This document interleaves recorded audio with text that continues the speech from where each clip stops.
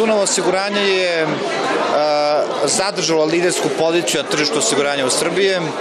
Tržišno učešće prema prvim preliminarnim podacima oko 27,5%.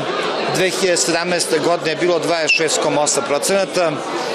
Ukupna premija je 27,6 milijardi, za 2,6 milijardi je veća nego 2017. godine i da kažem rast od 10,6%. Kompanija je napravila dobar iskorak u životnim osiguranjima. Tržišno učešće u životnom osiguranju 2017. godine iznosilo je 6,9%, bili smo na šestom mestu. 2018. godine tržišno učešće je 9,3% i zauzimamo četvrto posto na tržištu životnog osiguranja. Globalno zauzimamo prvo mesto, dobit je milijardu i 700 miliona dinara, negde oko 14,5 miliona eura,